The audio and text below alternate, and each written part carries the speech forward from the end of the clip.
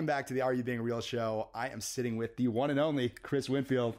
Thank you, Mark. So good. I I feel like I know you forever. We talked Likewise. for we talked for about 25 minutes before this and I'm like "Uh, this is my guy. This is my guy. Dude, So- I feel the exact same way. And I have seen you on the interwebs for probably like the last year plus, And I was really excited to get to connect with you in person and to have this conversation. definitely. Same. Yeah. So for everyone tuning in, Chris is amazing. He is the super connector and you help people create unfair advantages in their careers. And what you mean, I think, by unfair advantages is you help people really find their own lane and distinguish themselves in a way that really helps them be most impactful and effective with their business and with their relationships and overall lives. Yeah, help them create also these amazing win-win relationships, so that like that's really the unfair Yeah. advantage. Yeah.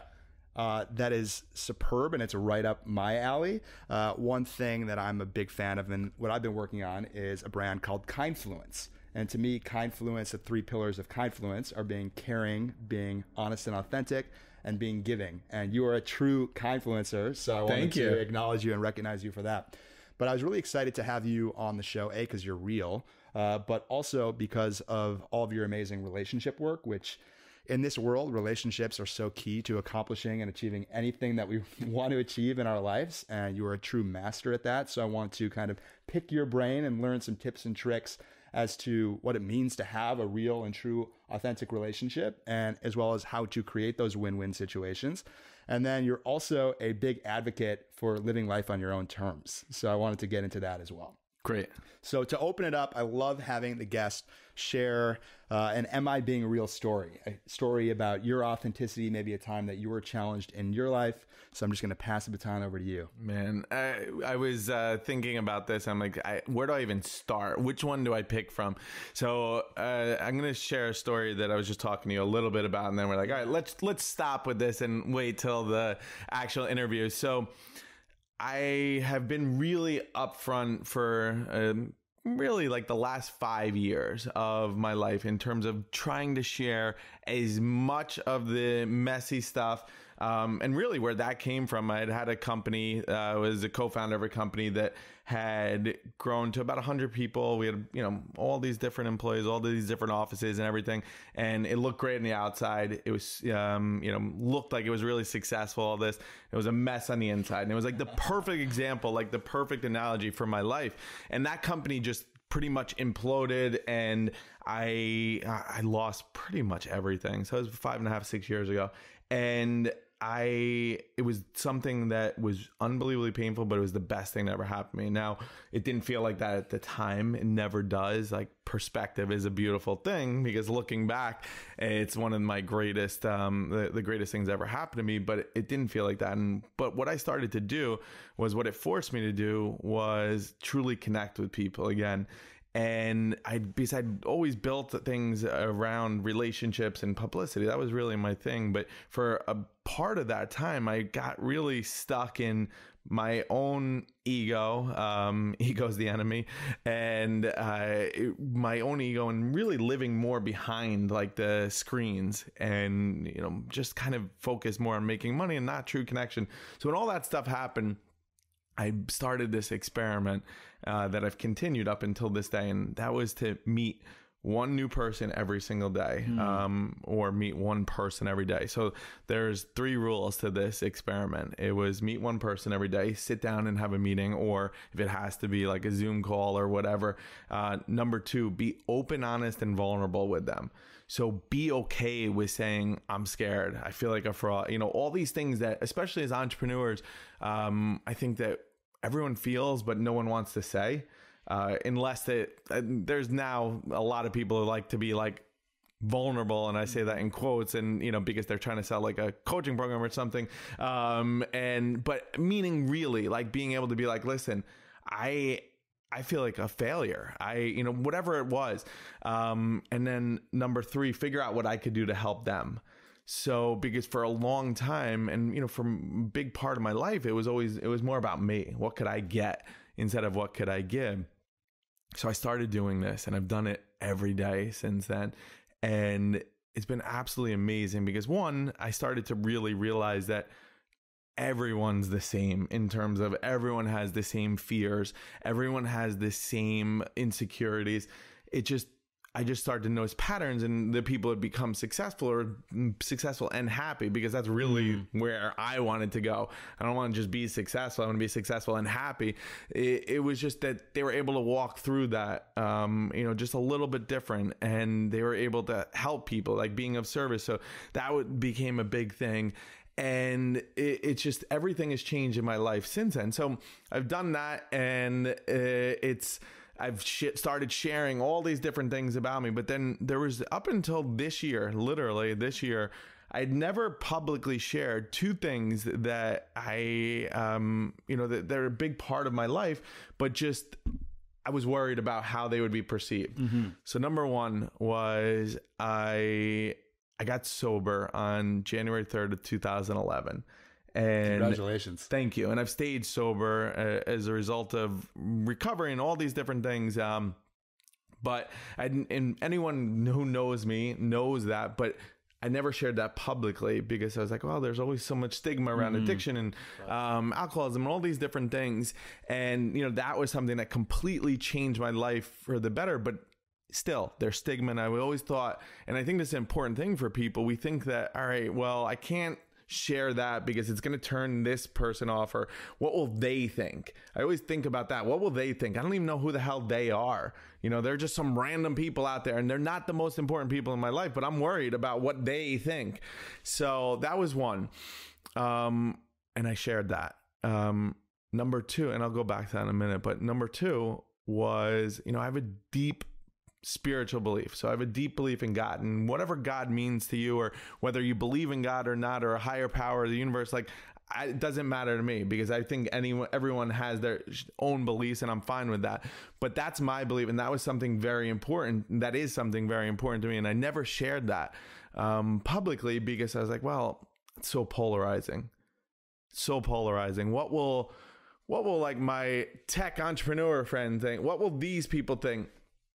And then I got to that point. Um, my girlfriend partner and I were on vacation this year in at, at New Year's, and I she'd always you know ask me to do like word of the year, word of the year. I still know you did a podcast episode on the word of the year, and I never did it uh, before. And then I started thinking about it, and I you know finally had some time to decompress and think and. I was like, what is this? What would the word of the year be for me? What would what would help me to remember all mm. the time? Because I forget it. And I said, ah, the year, the year of God. And I wrote a post about that and I shared that. And I sent out a newsletter uh, to my list about that. And, you know, the response was amazing. Now, I'm sure there was people that are like, fuck him like you know whatever i'm mm-hmm. done with mm-hmm. and that's okay because the thing that i thought about and the thing that i really had to lean into is it's something i also ask all of our people so we have an event Unfair Advantage Live where people come and it's about getting your message out there connecting to the media and one of the things I'm always saying is share share as much as you can. Share as much of your story, your message, your message, the messy parts of you that make up like you, you know, your story of uh, working in Showtime and all this, you know, and like what led you to here. Like that's the important stuff. Like that's the that's the interesting stuff. So I thought about it for myself and I was like, wow, I'm there's two things that I'm still not sharing about. Am I a hypocrite?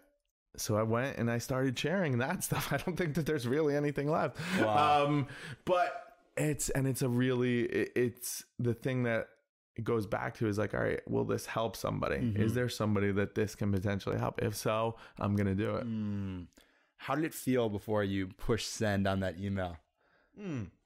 I think it feels the same way that it feels before anything and that I feel like I'm always yeah. like oh my god I I don't want to do this I'm right. nervous like even for stuff that's smaller like I still have that insecurity that you know that that first thought that comes in um so it, it, it obviously nerve wracking um but at the same time as soon as it's done mm-hmm. liberating what was the response? I imagine amazing. The response is amazing. Yeah, for and even same thing with the sobriety story. I because I think it started off by saying like you know when I woke up on January 3rd or January 4th, 2011, in a rehab in Western Pennsylvania.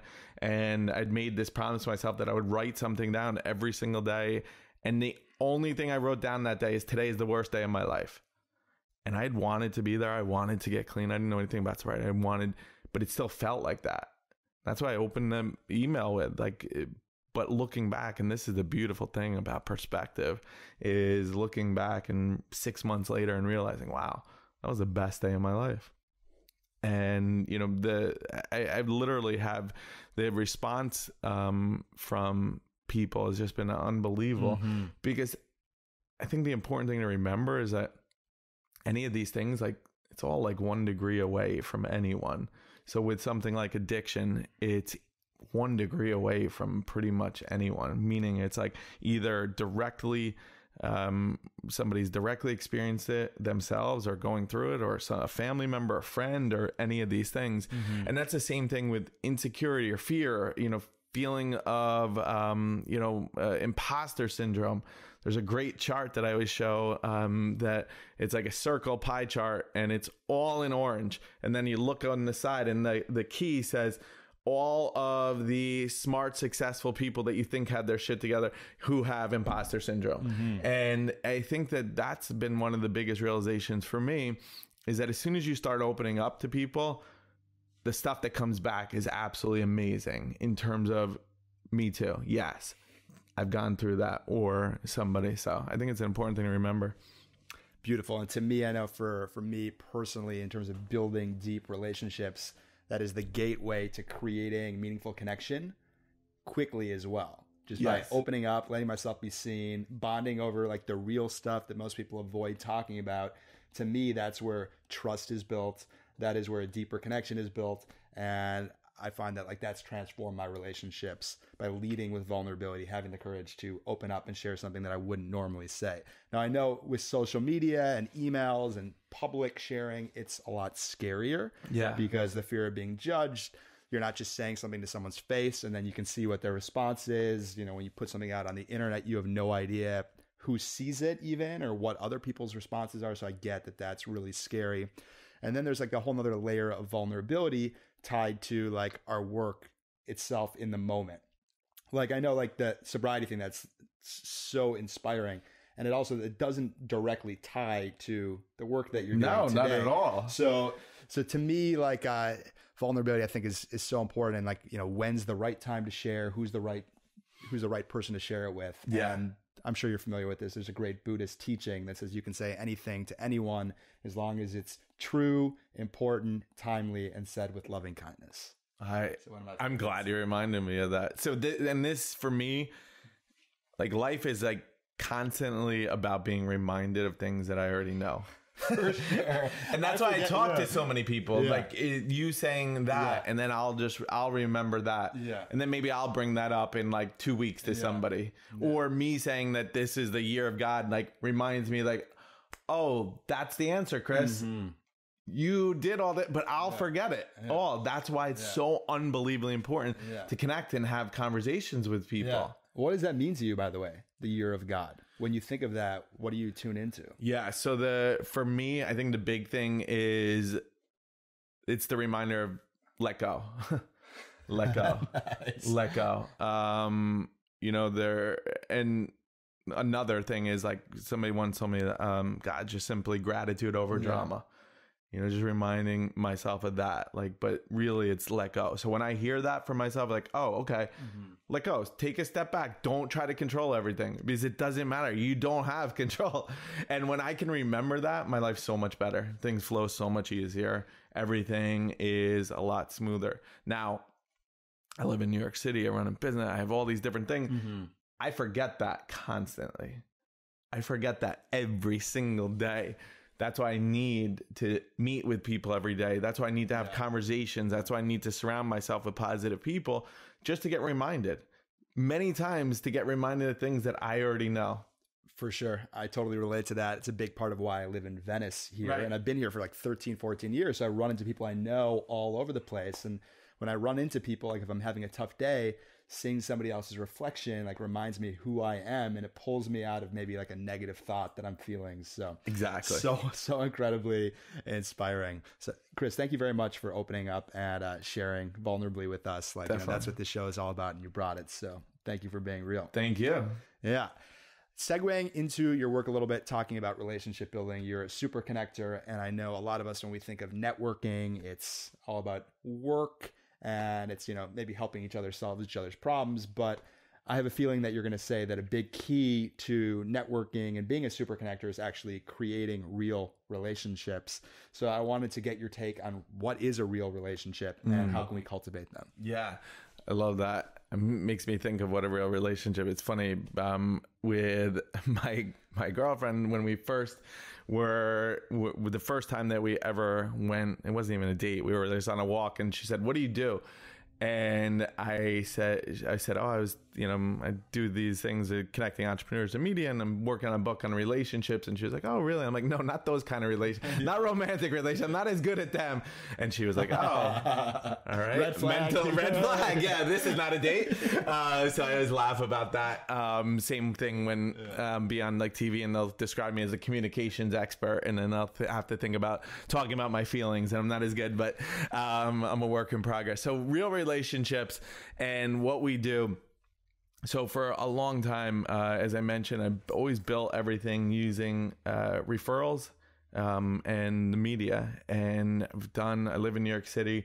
Do lots of different dinners and events to bringing. Um, and done this for a while, bringing. Uh, people in the media together with entrepreneurs. So where our, our the idea for our event came from, Unfair Advantage Live, was that I'm in a small mastermind. So I mentioned Jonathan Fields before, guy um, Todd Herman, um, and this guy Ryan Lee. And we call it the Dad Mastermind. We're all fathers and we're all entrepreneurs.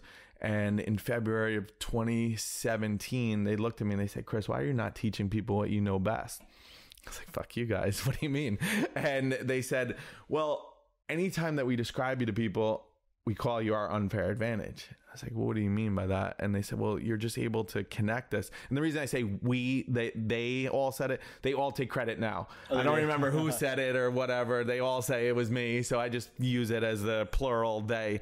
Um, Fair enough. They we don't take as much help as we could get. Yeah, exactly. So they, and they say, well, anytime we need to get in the media or we want press or we want a great partner or we want any, we always ask you and you're able to just text somebody and make it happen in like 30 seconds. So I started thinking about it and I thought, you know, it really comes down to relationships. It comes down to the relationships that I cultivated. And a lot of times we think that relationships or building a relationship is the, uh, isn't a quick way to do things. Now I look at it as the ultimate shortcut. Um, but it takes work to make it happen. It has to be authentic. It has somebody on the other side of that has to want to hear you, has to want to be willing to help you. So what I'm always thinking about is like win-win relationships mm-hmm. and really creating as many wins as possible. So, and the best relationships are built on authenticity. Are you being real? You know this whole thing. And that's what we teach our people is so we do this like uh, in the middle uh the second night of our event there's a media mixer and we bring in legit like the gatekeeper. So we always do our events in New York because that's where all the media is. So it'll be like producers from ABC, um, editors in chief from like all these different huge places that are impossible, like just to get these people to respond to your email. Mm-hmm. Forget have them in the room with you, and everyone comes for the first time every time that they come for the first time and they're like, "Oh my god, what how do I be? Like what should I be wearing? Like how do I talk? Like do I need?" And we're always like, "Listen, just be yourself." And they're like, great. I just uh, paid all this money and flew here to hear that. really good advice, Chris. We're like, just be yourself, build a relationship. Don't worry about what the outcome is. Mm-hmm. Don't worry about exactly who the person is. Build a relationship, figure out what you can do to help them. Amazing things will happen. And then I think they go and they're like, all right, I don't really believe this guy, but mm-hmm. everyone's now saying that it does work. And then they do that and they just talk to people and you know people have gotten on TV after having a conversation talking about like hair products or, you know, just like they have nothing to do with them or, you know, something with somebody's kid or, you know, all these different things. But a lot of it also starts with just like what we're talking about being being real, being open, being honest, being vulnerable, being mm-hmm. okay with that. And I think it's more powerful and more needed now more than ever because of social media and because of how easy it is to connect with people in terms of it, but not a true connection. So a thing we always say, and one of my friends, Jen Kem, uh, I think she was the first one who told me was, you know, 10 minutes heart to heart, belly to belly is more than like a year going back and forth online. Mm-hmm. You know, so for you and I, we're sitting here today, we're talking, you know, we'll leave this. And I know that you know this because you've been doing these interviews, but it's completely different than if it was just, and you do a good job of ask, getting to know somebody beforehand and doing all this stuff.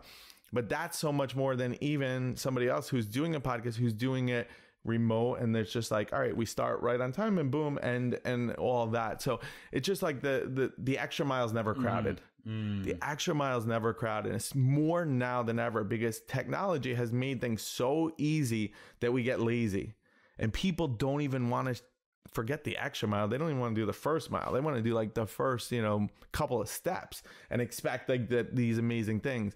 So when you do it the right way then it's really like your network is your net worth.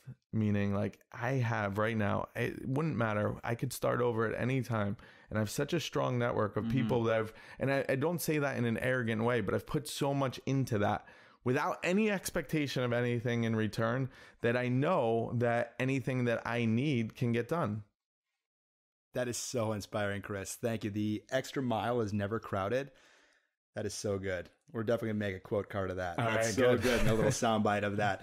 I have so many questions for you. I, I, one question that I have in regards to creating a win-win situation. Obviously, that makes so much sense. That like we all have individual goals and priorities. So naturally, if we can help somebody else accomplish their goal, and then kind of in return they'll help us, that makes so much sense. Although it's not always so easy. So my question for you is like, do you have any quick tips as to how to identify those win-wins and how to create them? I know yeah. sometimes it's uncomfortable to ask for a favor, to ask for support, and or there could be people who just lead with asking for a favor without building relationship. So I have a lot of different ways to do this. So one of the things, let's say, so people that come to our event, they want to get media, they want their they they, they want to get out there more. Um, and so one of the things that we always say is like, listen, you know the story, the Russell Conwell story, your Acres of Diamonds. Uh, so Acres of Diamonds is a story about this guy he was living in Africa who had um, every, he was looking around. It was like during the oh, and all the diamonds are being discovered, and he is so jealous of he has you know he's a pretty wealthy guy but he's so jealous of all these other people. So he left he sold his farm to go and find all um, his own fortune in diamonds. Now he winds up drowning in the ocean. It's true story. It's very wow. depressing. Um, the guy who bought his farm is out walking one day and he sees and he comes upon in a stream the largest diamond that ever had been found the guy had been living on a diamond mine, like one of the richest, the most fertile diamond mines of all time. And it was in his backyard. So, one of the things mm. that I always ask people to do is start with what you already have.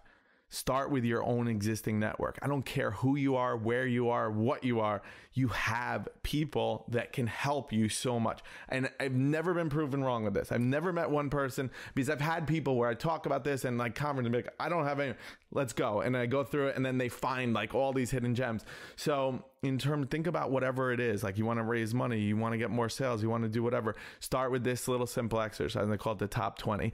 So write out a list of 20 names. Mm-hmm 20 names of people who could help you. So get those clients, get the media, whatever it is, whatever that goal is, 20 people that you know right now and forget just your existing business network or, you know, anything. Think about every person you've ever met in your life, every person from school, from your parents to family, whatever.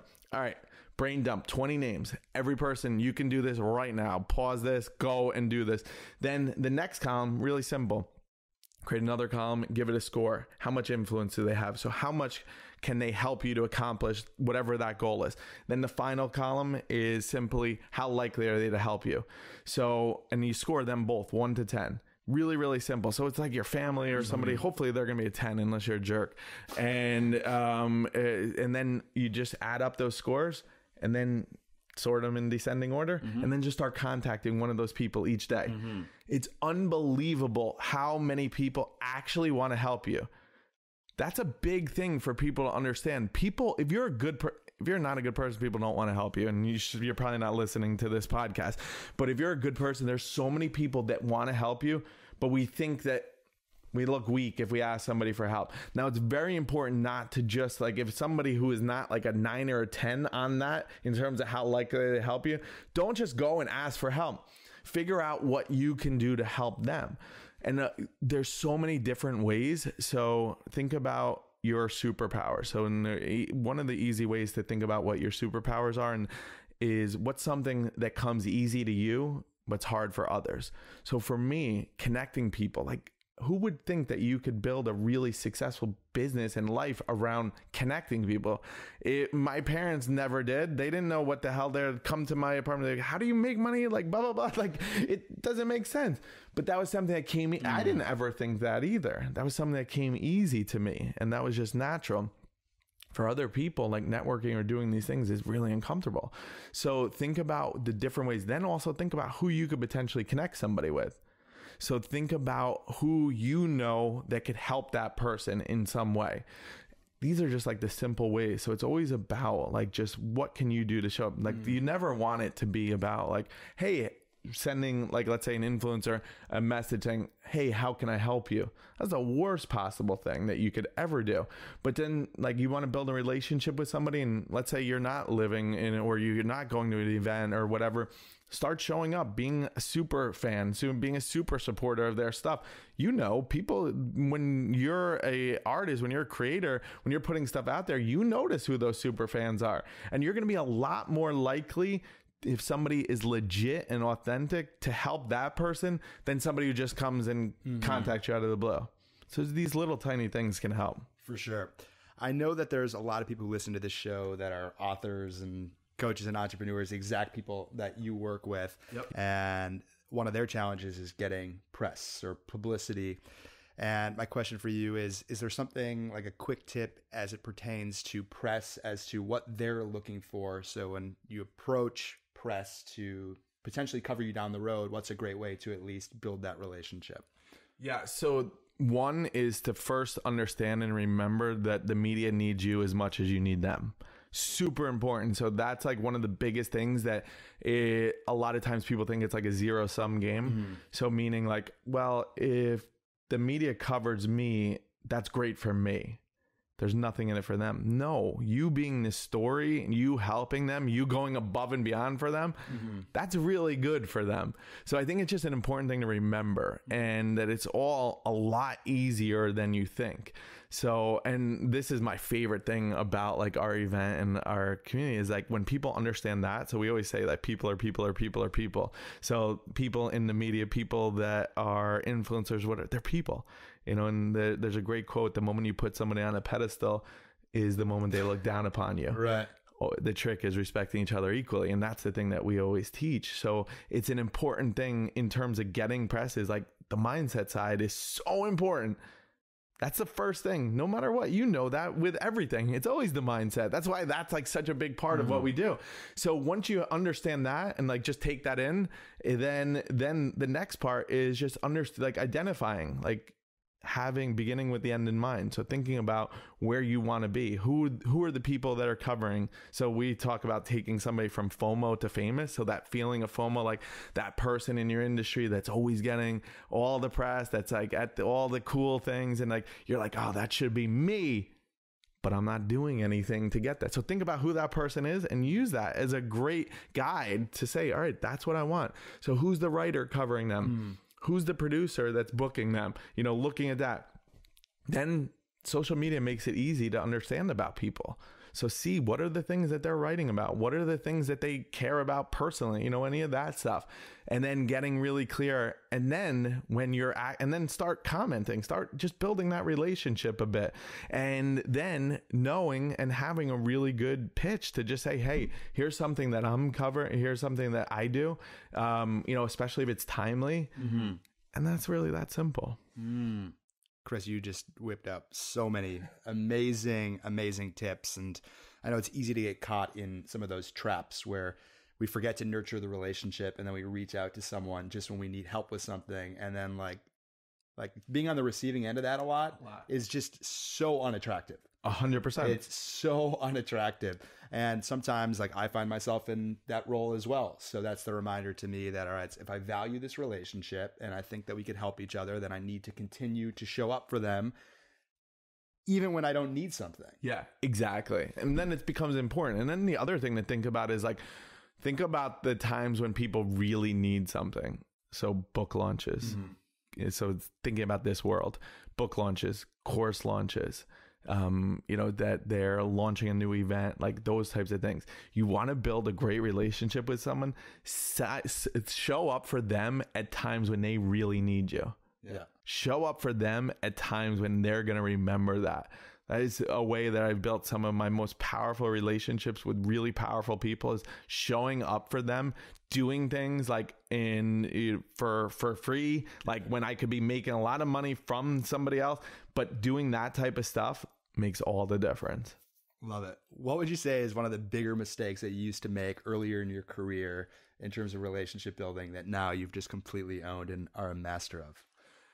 I think the biggest thing was letting my ego dictate too many things. Um, it's funny. There's a great acronym for ego, easing got out, mm. and I didn't know that at the time. But um, caring more about what somebody thought of me than just being able to show up. Uh, so, and when you're coming from that place, and you know, it's more of like a place of lack, uh, because when you're like thinking like, all right, this person has to help me um, and having mismanaged expectations of somebody.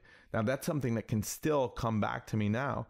And I have to catch myself and I have to talk to other people. And I share examples of this stuff where if somebody, let's say, ignores me, like especially somebody I've done like a lot for or something, and you know, my thought is like, oh my God, well, screw them or whatever. But just to remember, all right, it doesn't have to come from this person.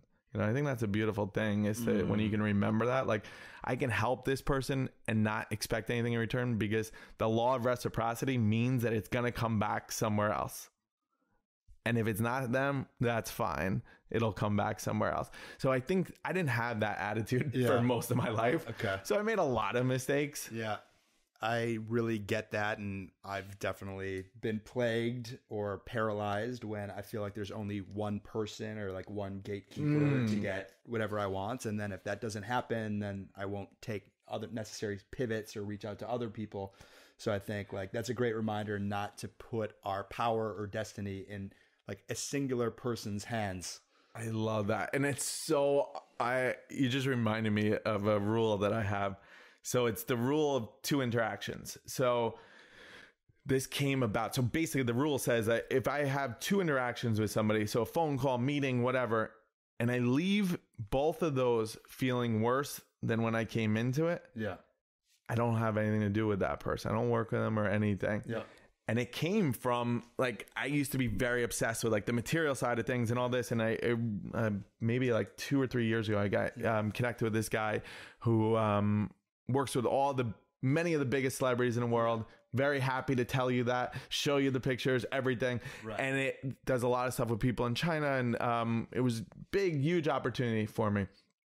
Each time that I hung out with him, I didn't feel good. I felt like it was like the old, like ugh, like I just felt kind of gross. And he then came to New York at one point, met with me and a business partner of mine at the time, and we left that meeting. And he said about her, he said, "You don't need her. We can just replace her." and this was somebody who had done a lot for me and i'm a very loyal mm-hmm. person and i realized i was like oh my god this is just how he thinks i and i knew after the first time and i really knew after the second time so it's just it, it, that that rule works really really well that is a good rule lead me leads me to another question So I, I told you this. I send these personalized video messages to every single one of my Facebook friends on their birthdays, and I have about three thousand Facebook friends. So that's a lot of wild. relationships that I like. You know, I like to honor and nurture uh, every single year. And the reason I bring that up is some people will tell me like, "Oh, that's cool that you do that," but I prefer to just have closer relationships with fewer people, or I don't want to, you know, be extending myself that far because then I need to respond and yada yada yada. So I know you're someone that has, as a super connector, you have a large amount of relationships. So I'm curious to hear your take on how you'd respond to someone if they said, "Oh, it's more important for me to have fewer relationships," because I think you're another great example of the beauty of utilizing relationships, you know, to support yourself, support others. So I'm curious to hear your take. Yeah, I think so. I think you can do both, um, and it, it's also. I don't know if it's an either or. I think it's also certain people are just different. Yeah. You know, they they can't handle all of that. Like that would cause them more stress. So that's cool.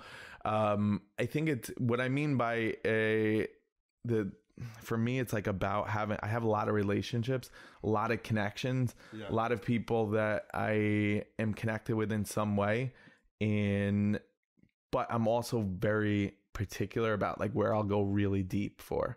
And it, so I think that that that's the balance for me. Um, you know, because you will get burnt out. You know, like you couldn't possibly have 3000 amazing relations. I mean, I guess you could, but it would the the ones that maybe are more important like your girlfriend or whatever, like that that will it would take away from that. So I, I think it's a it, it's a great it's a great question. I, I think it's also like what works for that person. What I do suggest for people though that would say that is I always I suggest for people to meet one new person a week. So forget like being crazy like me and doing it every day. Try see what happens when you open yourself up to meeting with one new person a week and figuring out being open, honest, and vulnerable with them, and also figuring out what you can do to help them it's unbelievable. Like that will change your life. You know, meeting 52 mm-hmm. new people a year will change your life because that it, it's it, without a doubt. Chris, there's a few questions I want to ask you, just kind of colorful questions that some of them are kind of on topic with what we've talked about. Some of them are a little bit off. But Cool. uh, first question for you, fun one. You've been featured everywhere. What is a dream feature that you haven't had yet that you'd love to be featured on?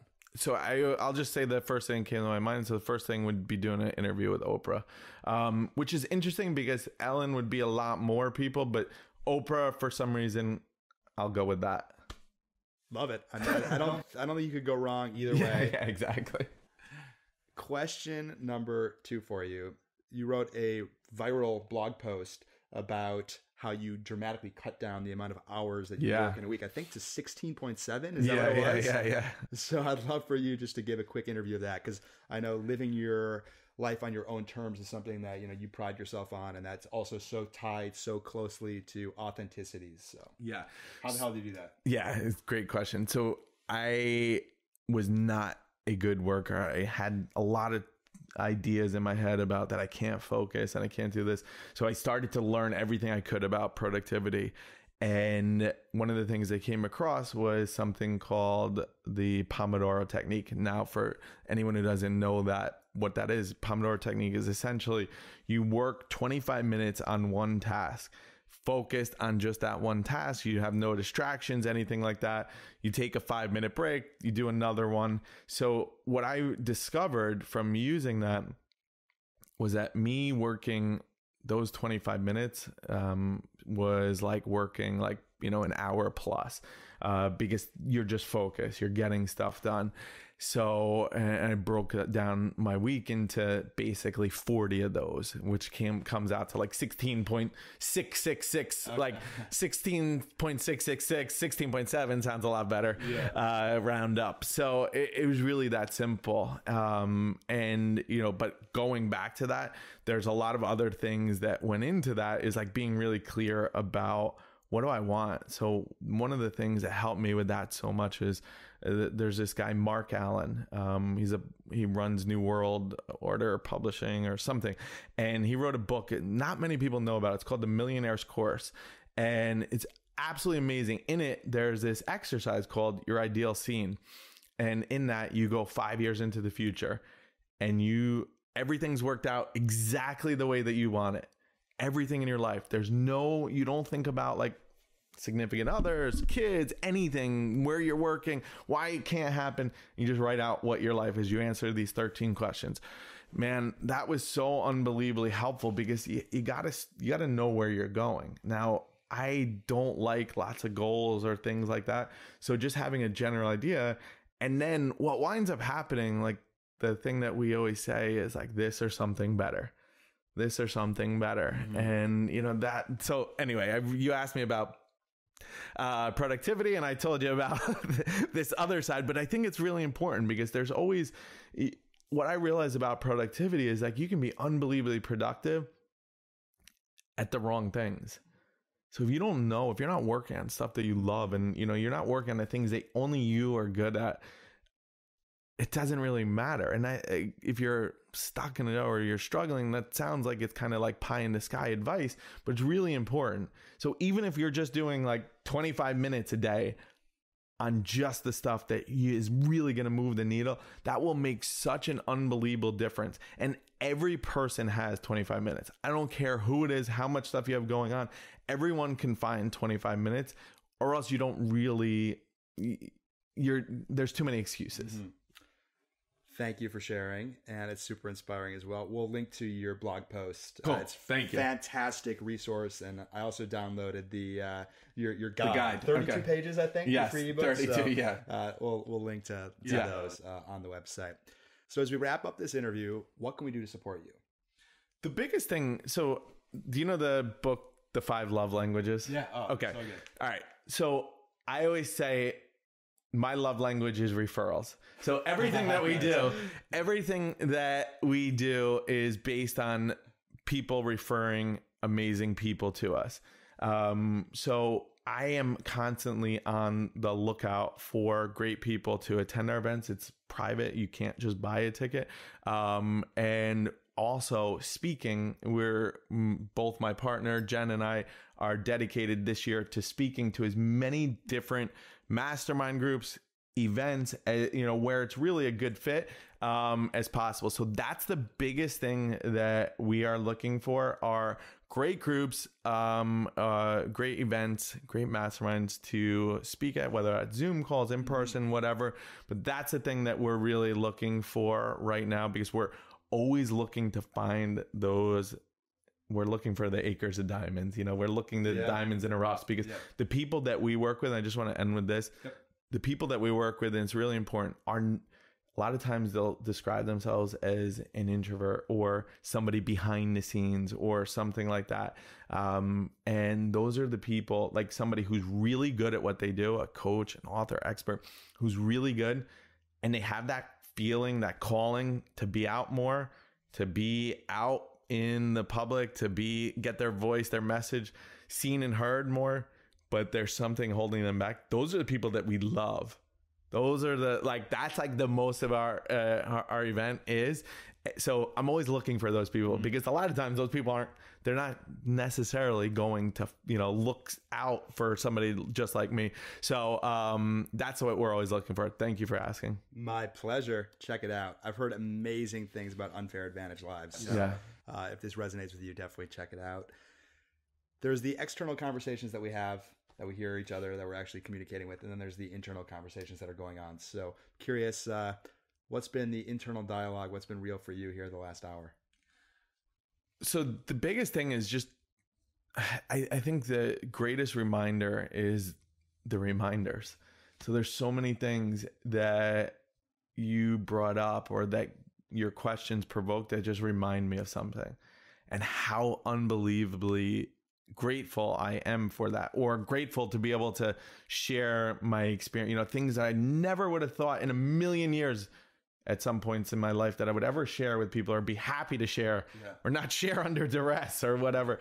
And I think that's the that that was the biggest thing that came up for me is just more of gratitude and then also that what happens when you you show up um you know because th- this trip is like really packed and like you know there's so many different things and I'm so grateful one that you um that you invited me and that two that I showed up and just was present, you know, for being here. And like that that feeling and knowing like all right this is like all right i now have a new friend like that he can ask me for anything like that type of thing so that was the other thing that came up a lot Awesome. Likewise. And Chris, I'm so inspired by who you be and this career that you've created yourself for yourself, built on relationships and helping other people, which in turn has helped yourself. So I'm certainly here taking notes.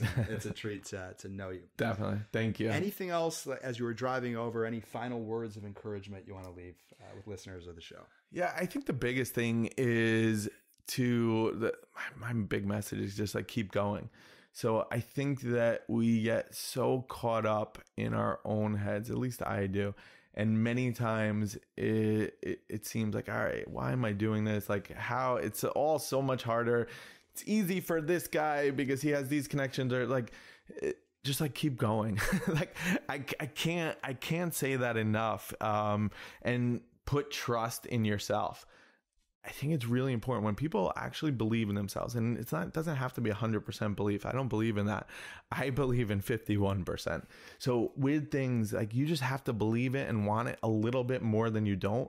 Forget these people come on and talk about like you know hundred and ten percent, hundred and twenty, like fifty one percent. Just believe because 51% will get you to 52 and then it'll get you to days where it's 83 and days where it's 97 and that's where like but so much can happen if you just believe in yourself and believe in what you're doing and believe in the right people a little bit more than you don't your entire life can change in forget a year in a month just by that The one and only Chris Winfield. Mic drop moment there. Thank you so much. This has been a fucking blast. yeah yeah definitely thank you amazing